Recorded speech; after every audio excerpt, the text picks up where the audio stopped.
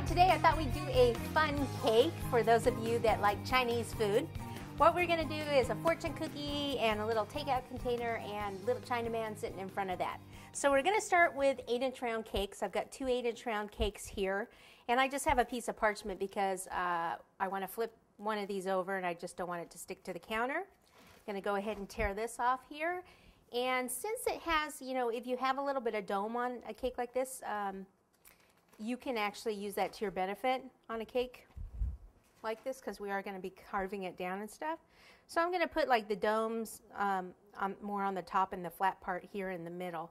And I'm just going to keep, um, keep this without buttercream in between just in case I want to put a support board in there. I, I kind of have to wait and see how much I carve it down first. Okay, so um, what we're going to do, we've got them just kind of stacked together, so keep in mind that that's loose and you have to kind of hold on to it. Um, what first we do is we we are going to cut out that little, um, almost like a pie kind of a section. So let me, it's better to cut a little bit out at a time. So just make a little, like I said, it looks like almost like a pie that you're cutting out. And I went a little further past the center. The center is probably a little more here, and they usually go a little bit further past it. So let me just cut straight down.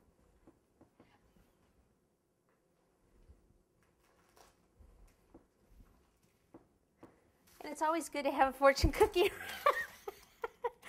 around, but this one is broken.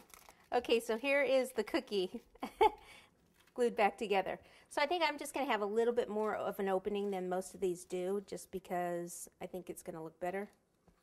Okay, you get the idea? Whoops. What a mess. Well, I can make that. We're going to make it just like that. We're going to go ahead and cut it up. All right, so I've cut out my V shape here and take this piece out. Ooh, and then we can save that for a little slice of cake, huh?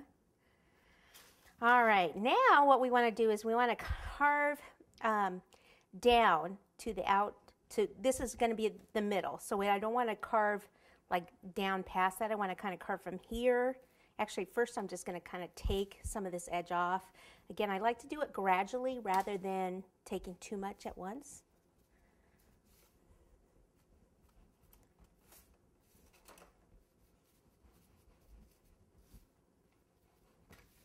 Okay. Now I need the front to actually slope down. So I'm going to take from about here and actually cut down. like that. Round this a little more.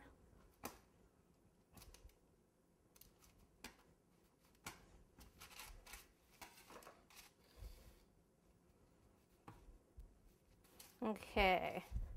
Then what I'm going to do is I'm going to come in here, the bottom piece of the cake, and I'm going to cut in at an angle.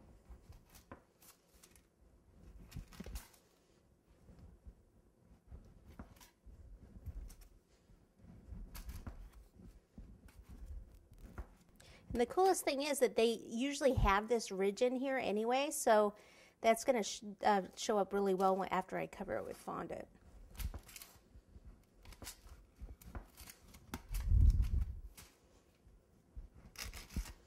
Now, if this were a bigger cake, bigger than 8 inch, then what I would probably do is put a support board here in the middle to hold some of this weight. But this one should be fine cut in a little bit here too. A little bit there. Okay, so I think there we have it. Let me just actually trim this a little bit nicer.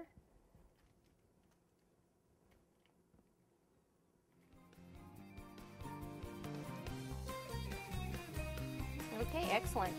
All right, so what I need to do here is just place it on a board. Just pop it on this board here. And then I'm going to go ahead and ice this and then pop it in the uh, refrigerator while I carve the takeout box.